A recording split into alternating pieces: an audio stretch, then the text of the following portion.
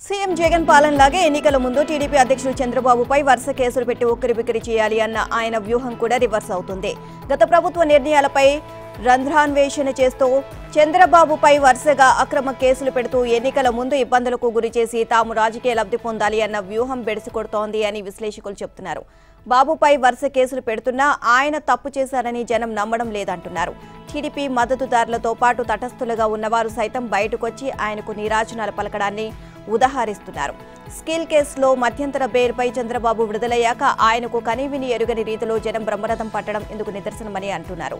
చంద్రబాబు తప్పు చేశారు అంటూ ప్రభుత్వ సలహాదారు సజ్జల రామకృష్ణారెడ్డి మీడియా సమావేశాలు నిర్వహించడం దినచర్యగా మారింది. ఓవైపు చంద్రబాబుపై మరిన్ని కేసులు పెట్టడానికి జగన్ ప్రభుత్వం ప్రయత్నిస్తోంది అని వార్తలు రాగా అదే సమయంలో వైసీపీ ఎంపీ రఘురామకృష్ణంరాజు సుప్రీంకోర్టులో వేసిన పిటిషన్తో జగన్ కేసులు మళ్ళీ చర్చనీయాంశమయ్యాయి. జగన్ కేసులు పదేళ్ళుగా విచారణ జరగడం లేదని వేరే రాష్ట్రానికి బదిలీ చేయాలని రఘురామ పిటిషన్ వేశారు. దీంతో జగన్తో సహా ప్రతివాదులకు సుప్రీం నోటీసులు ఇచ్చింది. పదేళ్ళుగా జగన్ బెయిల్పై ఉంటున్న విషయం మరోసారి చర్చకు దారితీసింది. బాబుపై అక్రమ కేసులు పెట్టిస్తున్న జగన్కు ఇప్పుడు న్యాయస్థానాల్లో ఆయనకు వ్యతిరేకంగా వేస్తున్న వ్యాజ్యాల కారణంగా కేసుల్లో కదలిక వస్తే పరిస్థితి ఏమిటని సొంత పార్టీ నేతలే ఆందోళన వ్యక్తం చేస్తున్నారు.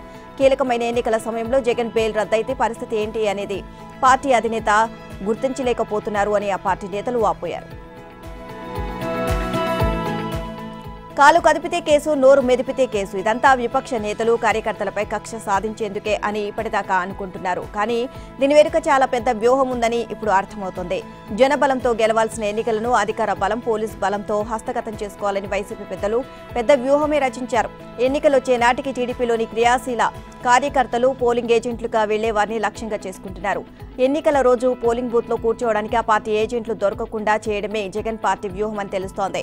ఇందుకోసం రాష్ట్రమంతటా ప్రతిపక్ష పార్టీల కార్యకర్తలపై ఎడాపెడా అడ్డగోలు ఆరోపణలతో కేసులు పెడుతున్నారు. గ్రామాల్లో రాజకీయ పార్టీలకు కార్యకర్తల బలం ఉన్నా ఎన్నికల సమయంలో పోలింగ్ వ్యవహారాలు కొద్దిమంది కీలకమైన కార్యకర్తలు మాత్రమే నిర్వహించగలరు.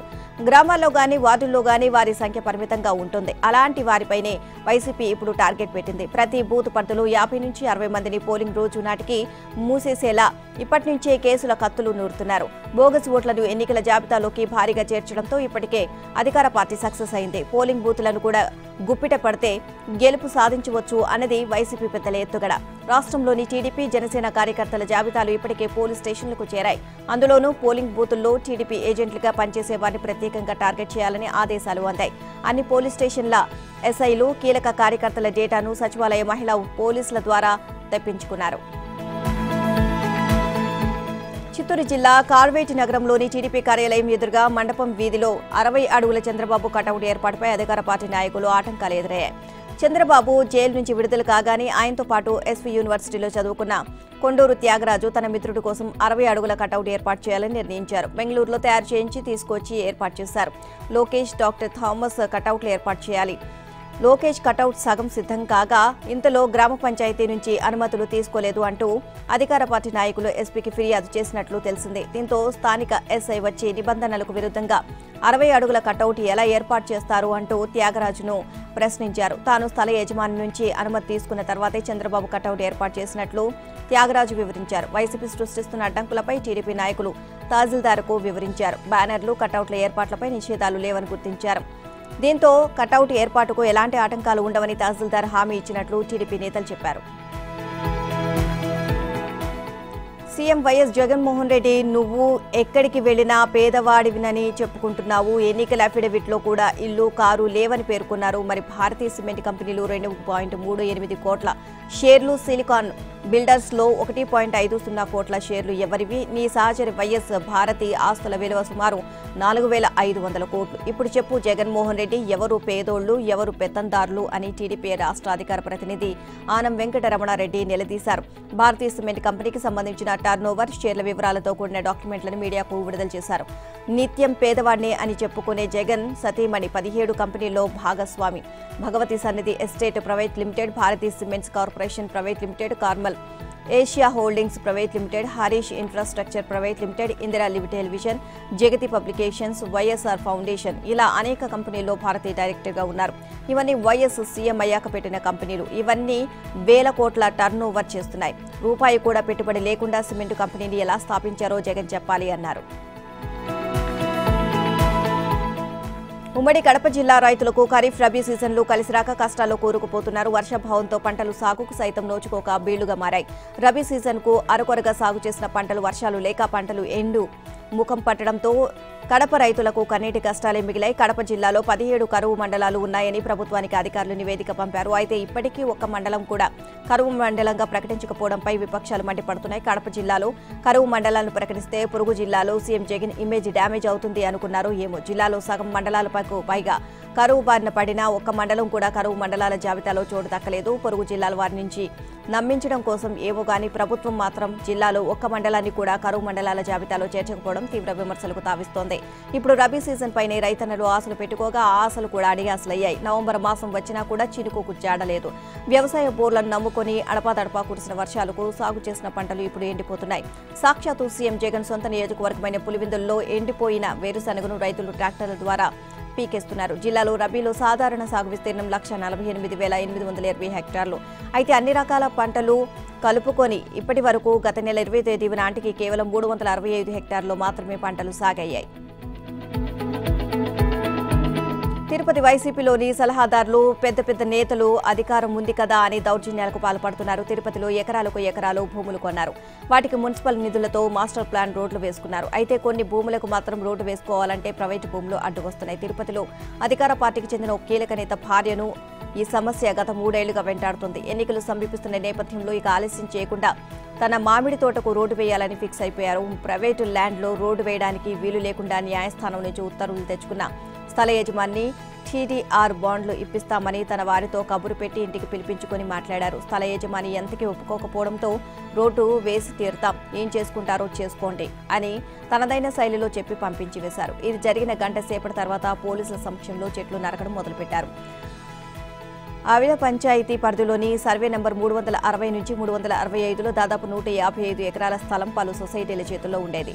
కాలక్రమంలో ఆ స్థలంలో కొన్ని రియల్ ఎస్టేట్ వెంచర్లు వెలిశాయి. తిరుపతి నియోజకవర్గంలో అధికార పార్టీకి చెందిన కీలక నేత మామిడి తోట కూడా అక్కడ ఉంది. సదరు తోటలోకి రియల్ ఎస్టేట్ వెంచర్లోకి వెళ్ళేందుకు సరైన రోడ్డు మార్గం లేకపోవడంతో దళితుల వద్ద ఉన్న సర్వే నెంబర్ నాలుగు వందల డెబ్బై ఎనిమిదిలో రెండు ఎకరాల పొలంపై కన్నేశారు. అధికారులపై ఒత్తిడి తెచ్చి ప్రైవేటు భూమిలో రోడ్డు ఏర్పాటుకు సిద్ధమయ్యారు. ఎవరు అవునన్నా కాదన్నా దేశంలో ప్రాంతీయ పార్టీలదే భవిష్యత్తు. అవి గెలిచిన చోటే ఆ రాష్ట్ర ప్రయోజనాలు నెరవేరుతాయి. అభివృద్ధి సాధ్యమవుతుంది. బీఆర్ఎస్ పుట్టిందే తెలంగాణ కోసం. బీఆర్ఎస్తోనే సురక్ష తెలంగాణ సాధ్యం. ఢిల్లీలో స్విచ్ వేస్తేనే ఇక్కడ కాంగ్రెస్ వాళ్ళు లైట్లు వెలుగుతాయి. ఢిల్లీ గులాంలకు మనం గులాం కాకూడదు అని సీఎం కేసీఆర్ వ్యాఖ్యానించారు కాంగ్రెస్ ప్రభుత్వ హయాంలో. మైనార్టీల సంక్షేమానికి పెద్దగా నిధులు ఖర్చు పెట్టలేదని కానీ తాము గురుకుల పాఠశాలలు ఏర్పాటు చేశామని తెలియజేశారు.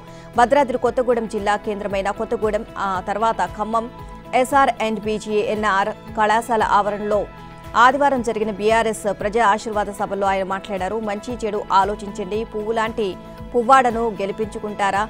తుమ్ములు తుప్పలని తెచ్చుకుంటారా? వాళ్ళు మీకే ముళ్ళు గుచ్చుతారు అని మాజీ మంత్రి తుమ్మల నాగేశ్వరరావు మాజీ ఎంపీ పొంగిలేటి శ్రీనివాస్ రెడ్డిలను ఉద్దేశించి సీఎం కేసీఆర్ పరోక్షంగా వ్యాఖ్యానించారు. ఓడిపోయి ఇంటికాడ ఉండే పిలిచి మంత్రి పదవి ఇచ్చానని ఇంతకు ముందు సభలో చెబితే నాకే మంత్రి పదవి ఇచ్చానని ఆయన చెబుతున్నారని ప్రజల కళ్ళ ముందే చరిత్ర ఉంది అన్నది తెలుసుకోవాలి అని తుమ్మలను ఉద్దేశించి వ్యాఖ్యానించారు.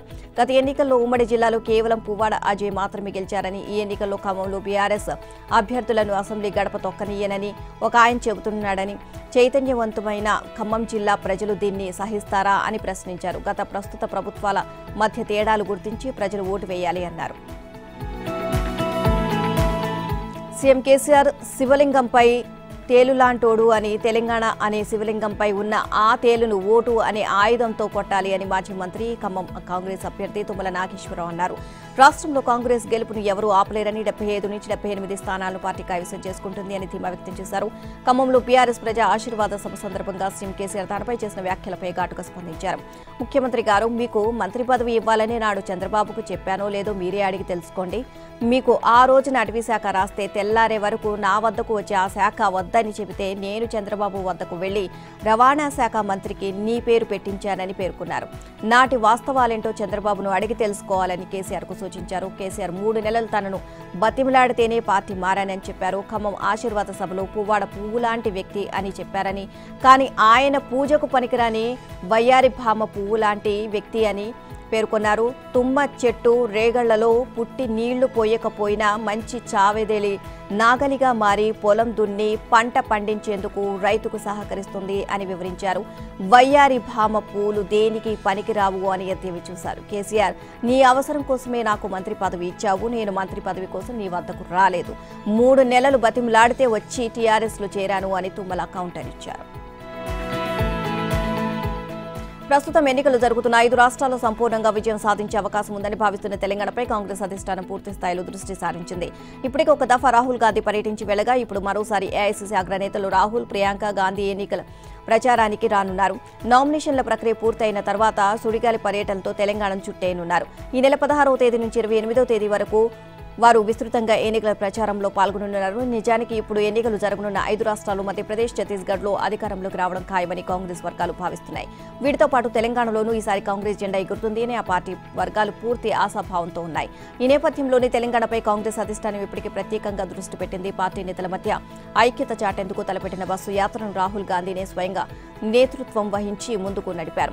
మధ్యప్రదేశ్లో ప్రచార గడువు ఈ నెల పదిహేనుతో ముగియనుంది. ఆ తర్వాత పూర్తిగా తెలంగాణలో ఎన్నికల ప్రచారంపైనే రాహుల్ రాహుల్ ప్రియాంక దృష్టి సారించాలి అని నిర్ణయించినట్లు పార్టీ వర్గాలు తెలియజేశాయి. ఈ నెల పదహారు నుంచి రాష్ట్రంలో ప్రచార గడువు ముగిసే ఇరవై ఎనిమిదో తేదీ వరకు విస్తృతంగా పర్యటించనున్నారు. ఈ మేరకు షెడ్యూల్పై ముమ్మరంగా కసరత్తు చేస్తున్నారు. రాజస్థాన్లో ప్రచారం ముగిసిన తర్వాత తెలంగాణలో అయితే రాహుల్ లేకుంటే ప్రియాంక ప్రచారం ప్రతిరోజు ఉండేలా అధిష్టానం ప్లాన్ చేస్తున్నట్లు చెప్తున్నారు. అయితే వారు బహిరంగ సభల్లో పాల్గొంటారా లేక రోడ్ షోలు నిర్వహిస్తారా అన్న విషయాన్ని ఐసీసీ ఖరారు చేస్తుంది అని పార్టీ వర్గాలు చెబుతున్నాయి ఎవరు ఎవరికి ఫేవర్ కాదు. కేసీఆర్తో నేను ఎందుకు ఫేవర్గా ఉంటా? ఫేవర్ అనే స్పెల్లింగే నాకు తెలియదు. కేసీఆర్తో ఎలాంటి లాలూచీ లేదు. ఇదంతా అబద్ధం. ఒట్టి ప్రచారం. నేను నా పార్టీకి పార్టీ సిద్ధాంతాలకు అనుకూలంగా ఉంటానని బీజేపీ రాష్ట్ర అధ్యక్షుడు కిషన్ రెడ్డి అన్నారు. కేసీఆర్ ఎనభై వేల పుస్తకాలు చదివారని ఆయన సూపర్ ఇంజనీర్ అని ఎద్దేవి చేస్తూ కాళేశ్వరం పేరుతో తెలంగాణ నిలువున ముంచారు అని ఆరోపించారు. అసెంబ్లీలో కాళేశ్వరం గురించి గొప్పగా చెప్పారని దేశంలోనే గొప్ప ప్రాజెక్టు అని డిస్కవరీ ఛానల్లో ప్రచారం చేయించుకున్నారని వాస్తవ పరిస్థితులు మాత్రం వేరుగా ఉన్నాయని చెప్పారు. శనివారం తాను కాళేశ్వరం సందర్శించానని మేడిగడ్డ బ్యారేజీ పిల్లర్లకు పగుళ్ళు ఏర్పడి కుంగిపోయింది అని పేర్కొన్నారు. కాళేశ్వరంపై తెలంగాణ నీటిపారుదల రంగ నిపుణులు గతంలో పలు సమావేశాలు పెట్టి ఎన్నో అనుమానాలు వ్యక్తం చేశారని చివరికి వాళ్ళు చెబుతోందే నిజం అని తేలుతోంది అని అన్నారు. మేడిగడ్డ కుంగినట్లు తెలియగానే కేంద్ర జలవనరుల మంత్రిత్వ శాఖ తాను లేఖ రాశానని కమిటీ ఏర్పాటు చేశారు అని ఆ నివేదిక వచ్చింది అని దీని ఆధారంగా చర్యలు ఉంటాయి అని వెల్లడించారు. కవితను అరెస్ట్ చేయకపోతే రెండు పార్టీలు ఒకటేనని కాంగ్రెస్ ఆరోపిస్తుందని అని. నేషనల్ హెరాల్డ్ కేసులో సోనియా రాహుల్ను అరెస్ట్ చేయలేదని అప్పుడు కాంగ్రెస్ బీజేపీ ఒకటేనా అని కిషన్ రెడ్డి ప్రశ్నించారు. కేసీఆర్ కాంగ్రెస్ పార్టీ నాయకుడిగా జీవితం ప్రారంభించారని ఆయన కాంగ్రెస్ పార్టీ ప్రాడక్ట్ అన్నారు. తెలంగాణ తనను తాను తెచ్చాను కాబట్టి ప్రజలందరూ తనకు బానిసలుగా ఉండాలి అన్నట్లుగా కేసీఆర్ వ్యవహరిస్తున్నారు అని కిషన్ రెడ్డి ఆరోపించారు. నేను ఢిల్లీకి పోవాలి నా కొడుకు సీఎం కావాలి. ఇదొకటే సీఎం ఆలోచనగా ఉంది అన్నారు. బీఆర్ఎస్ పోయి కాంగ్రెస్ వస్తే ప్రజల పరిస్థితి పెనంలో నుంచి పొయ్యిలో పడ్డట్లవుతుంది అని హెచ్చరించారు.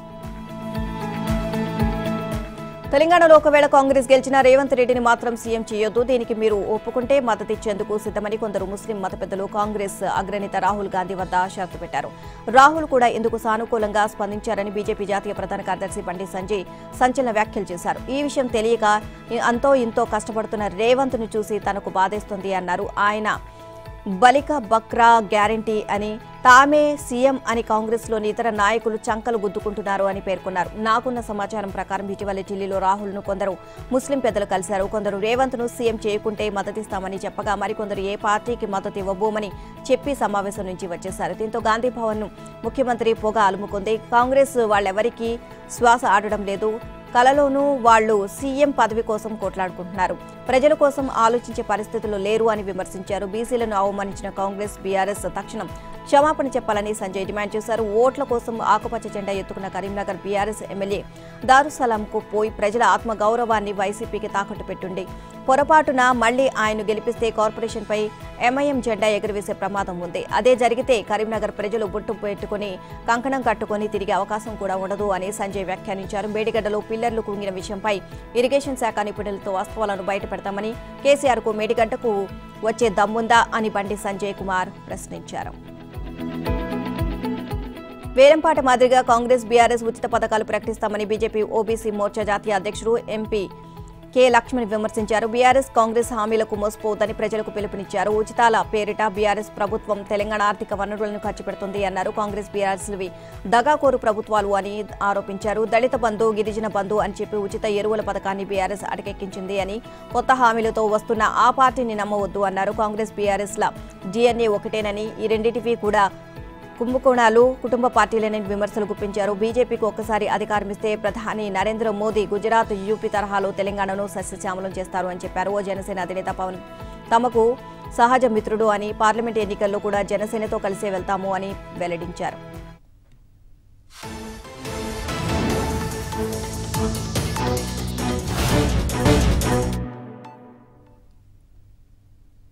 పీసీసీఎం నినాదాన్ని ఎన్నికల బ్రహ్మాస్త్రంగా భావిస్తున్న బీజేపీ బీసీ ఆత్మగౌరవ సభ నిర్వహణకు సన్నద్దమైంది హైదరాబాద్లోని ఎల్బీ స్టేడియంలో మంగళవారం సాయంత్రం అత్యంత ప్రతిష్టాత్మకంగా నిర్వహించనున్న సభకు ప్రధాని మోదీ ముఖ్య అతిథిగా హాజరు కానున్నారు. బీసీ ప్రజల కలలు సాకారం కాబోతున్నాయి అన్న నినాదంతో సభకు వేలాది మందిని తరలించేందుకు బీజేపీ శ్రేణులు సన్నాహాలు చేస్తున్నారు. ఇదే సభలో జనసేన అధ్యక్షుడు పవన్ కళ్యాణ్ సైతం పాల్గొననున్నారు. ఈ మేరకు ఆ పార్టీ రాష్ట్ర ఇన్ఛార్జి శంకర్ గౌడ్ తెలియజేశారు. బీసీ ఆత్మగౌరవ సభకు రాష్ట్రంలోని అన్ని జిల్లాల నుంచి జన సైనికులు రానున్నారు అని తెలియజేశారు. బీసీలకు అండగా ఉన్నామని చెప్పడానికే పవన్ ఈ సభకు హాజరవుతున్నారని వివరించారు. ఈ నెల పదకొండున నిర్వహించనున్న మరో సభకు ప్రధాని మోదీ హాజరవుతారని కిషన్ రెడ్డి తెలియజేశారు. ఇదిలా ఉండగా బీజేపీతో జనసేన సీట్ల సర్దుబాటు ఖరారైంది. ఏడు నియోజకవర్గాలను జనసేన ఆ పార్టీకి కేటాయించింది. కూకట్పల్లి నాగర్ కర్నూలు వైరా ఖమ్మం కొత్తగూడెం అశూరావుపేట కోదాడ నియోజకవర్గాల్లో జనసేన పోటీ చేయనుంది. ఈ మేరకు అభ్యర్థులను సైతం సోమవారం ప్రకటించే అవకాశం ఉన్నట్లు తెలిసింది.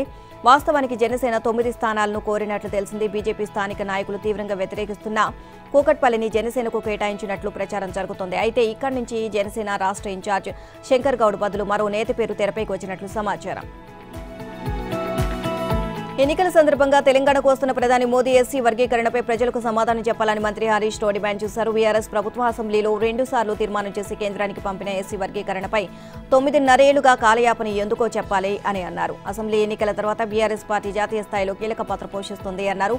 అప్పుడు ఎస్సీ వర్గీకరణ సాధించి తీరుతామని పేర్కొన్నారు. బీఆర్ఎస్ మళ్ళీ అధికారం చేపట్టిన తర్వాత మాదిగలకు నామినేటెడ్ పదవుల్లో సముచిత స్థానం కల్పిస్తామని హామీ ఇచ్చారు. మాదిగ రిజర్వేషన్ పోరాట సమితి ఆధ్వర్యంలో హైదరాబాద్ ధర్నా చౌక్లో జరిగిన మాదిగల యుద్ధపేరి సభలో హరీష్ రావు ఈ వ్యాఖ్యలు చేశారు.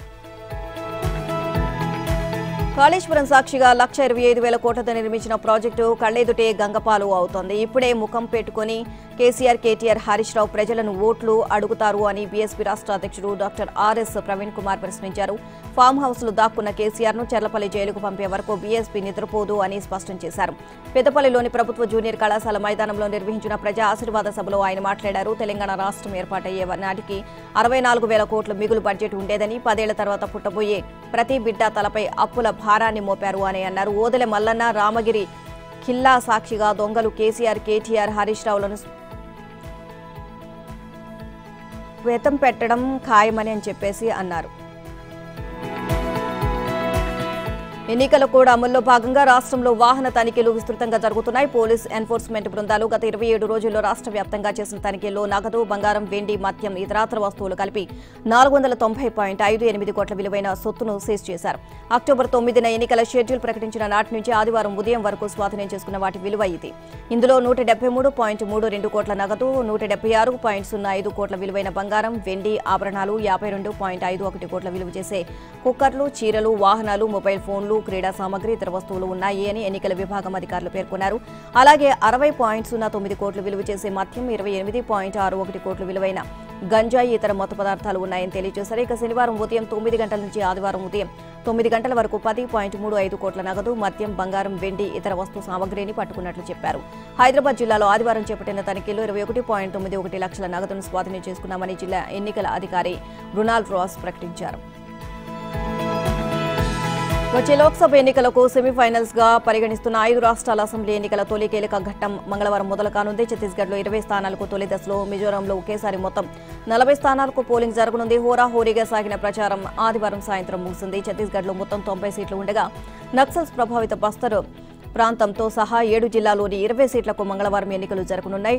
రాజ్నంద్గావ్ మొహలా మాన్పూర్ అభాంగఢ్ చౌకీ కబీర్ధామ్ ఖైరాఘాట్ ఛోయి ఖదాన్ గండాయి జిల్లాలోని ఈ స్థానాల్లో పది ఎస్టీ సీట్లకు ఉదయం ఏడు గంటల నుంచి సాయంత్రం మూడు గంటల వరకే పోలింగ్ జరుగుతుంది. మిగతా పది స్థానాల్లోనూ సాయంత్రం ఐదు వరకు కొనసాగుతుందని రాష్ట్ర ఎన్నికల ప్రధాన అధికారి కార్యాలయం వెల్లడించింది. పోలింగ్ సిబ్బందిని ఆయా ప్రాంతాలకు ముఖ్యంగా బస్తర్ ఏరియాకు శనివారం నుంచే పంపడం ప్రారంభించారు. ఓట్ల లెక్కింపు రాజస్థాన్ మధ్యప్రదేశ్ తెలంగాణ మిజోరాంలతో పాటే డిసెంబర్ మూడున జరుగుతుంది. మహాదేవ్ బెట్టింగ్ యాప్ ముడుపుల వ్యవహారం ఛత్తీస్గఢ్ అసెంబ్లీ ఎన్నికల్లో కీలక ప్రచారాస్త్రంగా మారింది. గల్ఫ్లో ఉన్న ఇద్దరు నిందితులు కేంద్రంగా కొనసాగుతున్న ఈ కేసు కాంగ్రెస్ను ఇబ్బందులకు గురి చేస్తోంది. అలాగే ఛత్తీస్గఢ్ సీఎం భూపేష్ బఘేల్కు ముడుపులు అందాయి అంటూ ఈడీ ఆరోపణలు చేస్తోంది. ఇదే అంశాన్ని బీజేపీ ఎన్నికల ప్రచారానికి విస్తృతంగా వాడుకుంటోంది మహాదేవ్ యాప్. యజమానుల్లో ఒకడైన సౌరభ్ చంద్రకర్ ఈ ఏడాది ఫిబ్రవరిలో ప్రత్యేక విమానాన్ని అద్దెకు తీసుకుని తన బంధుమిత్రులను నాగ్పూర్ నుంచి యూఏఈలోని రాస్ అల్ ఖమాయ్కు తీసుకువెళ్ళాడు. ఈ ఘటనతో అతను అధికారుల దృష్టిలో పడ్డాడు. కొద్ది కాలం క్రితం ఛత్తీస్గఢ్లో రోడ్డుపై చెరుకు రసం అమ్ముకున్న అతను ఏకంగా గల్ఫ్లో తన పెళ్ళి పార్టీ కోసం రెండు వందల యాభై కోట్ల వరకు ఖర్చు పెట్టినట్లుగా గుర్తించిన రెవెన్యూ ఇంటెలిజెన్స్ అధికారులు విస్తుపోయారు. ప్రత్యేకంగా ఉద్యోగులను నియమించుకొని ఆన్లైన్లో భారీ ఏజెంట్ల వ్యవస్థను ఏర్పరచుకొని ఆన్లైన్ బెట్టింగ్ను నిర్వహిస్తున్న విధానాన్ని బట్టబయలు చేశారు. అదే సమయంలో ఛత్తీస్గఢ్ పోలీసులు కూడా ఈ యాప్పై విచారణ జరిపి అనేక మందిని అరెస్ట్ చేశారు. ప్రధాన నిందితులైన సౌరభ్ చంద్రకర్ రవి ఉప్పల్ గల్ఫ్లో ఉంటున్నందున వారి అరెస్టు కోసం రెడ్ కార్నర్ నోటీసులను జారీ చేశారు.